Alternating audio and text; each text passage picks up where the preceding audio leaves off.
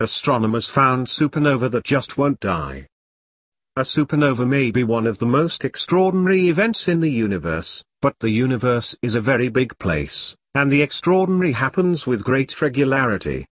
We've now observed a huge number of these events, and have managed to break them down into categories based on patterns in the light they produce. Astrophysicists have built models of exploding stars that explain these properties, matching them to the mass of the original star and the process by which it exploded. We're at the point where, after just a few observations, we can understand exactly what we're looking at. Today in Nature, a team of researchers is announcing observations of a supernova that it simply can't explain. In some ways, the event looks like a prosaic stellar explosion, except it has stayed bright more than six times longer than it should have, and experienced five periods of enhanced brightness that we can't explain. Different features of the supernova appear to be arising from physically distinct locations in space. And even the best model for what triggered this, something that involves a type of explosion we haven't definitively observed previously, doesn't account for all the observations. This whole confused mess started rather mundanely back in late 2014. A project called the Intermediate Palomar Transient Factory uses an automated telescope to scan the skies repeatedly, comparing each new image with previous ones of the same location so it can identify cases where something has changed. It's a great way to identify supernovae, since they result in a dramatic brightening of the star that explodes. In September of 2014, the survey covered an area of sky that it had not imaged in 100 days, and it found a telltale brightening. By January, follow-up observations of the event showed that its luminosity was similar to that at its first discovery, and dominated by hydrogen emissions. This led to its classification as a Type II supernova. A Type 2 steady production of light, which typically lasts 100 days, is caused by ionized hydrogen cooling off enough to recombine with electrons, emitting light at a specific wavelength in the process. The critical temperature is typically reached at a set distance from the site of the explosion, meaning there's a steady flow of debris through this point that keeps things lit for 100 days. Before too long, However, it became clear that this wasn't what was happening with IPTF-14HLS, which remained bright well past the 100-day mark. In fact, by the time a general dimming was apparent, it was 600 days after the supernova was first spotted. Obviously, that's hard to explain by a steady flow of debris spreading out and cooling off. The other problem here is that there's no sign of an actual flow of debris. Obviously, Material that gets far enough away from the site of the explosion to cool off later is moving more slowly than the material that manages that process quickly. As such, the velocity of the material that's emitting light should drop over time. IPT-14HLS again is refusing to cooperate here, as there is little sign of slower moving materials in the debris. Over the entire 600 days, hydrogen-rich material seems to only be slowing by 25%. Iron-rich material doesn't slow at all.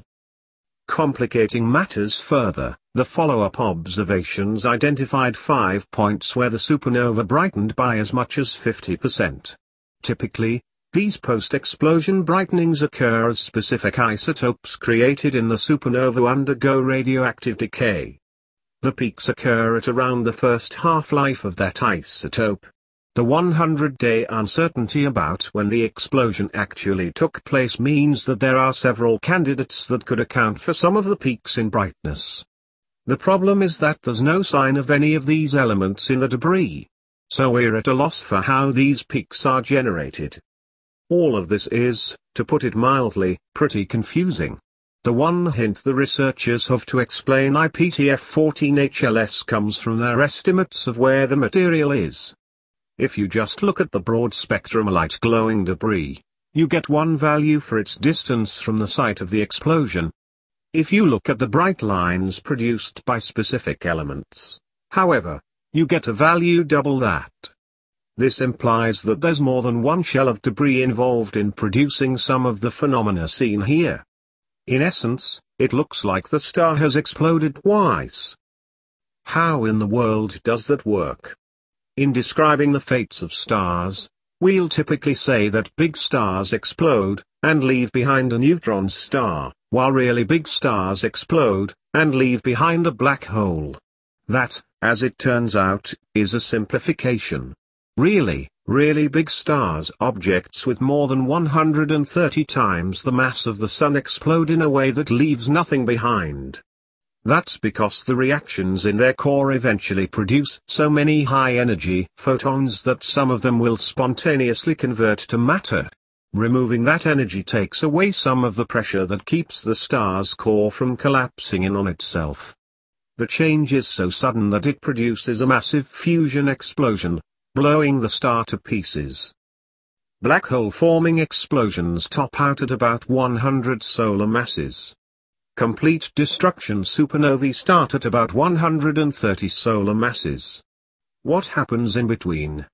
The same spontaneous conversion to matter occurs in the core of the stars, but it's at somewhat lower levels, so the core collapses more slowly. This allows time for a specific fusion reaction to occur, creating a sudden outward pulse of energy. This pulse ejects huge amounts of material, about 10 solar masses, but it leaves the core of the star intact. The process can repeat until the star sheds enough mass to undergo a black hole forming supernova. We haven't definitively identified any of these things, called a pulsational pair instability supernova happening, but there are a couple of candidates, including the great eruption of Eta Carinae in the 1840s. But an eruption of this sort would put a second sphere of debris out in space ahead of the final supernova debris. And photographic plates indicate there was a transient event in this general location in 1954. If the star that produced IPTF-14 HLS had a similar eruption shortly before its final supernova, it could explain some of the observations. But definitely not all of them. For example, the earlier eruptions are expected to eject most of the star's remaining hydrogen, but there was clearly plenty of that left in the supernova. In addition, it can't explain how the debris of IPTF-14 HLS appears to have maintained a constant velocity for over a year and a half. So there's clearly a lot left to do to understand IP-14 HLS. If other debris is out there, then we should eventually be able to observe the material ejected by the final supernova interacting with it. There's also the very real possibility that IPTF-14 HLS will throw us yet another curveball, upsetting our models once again.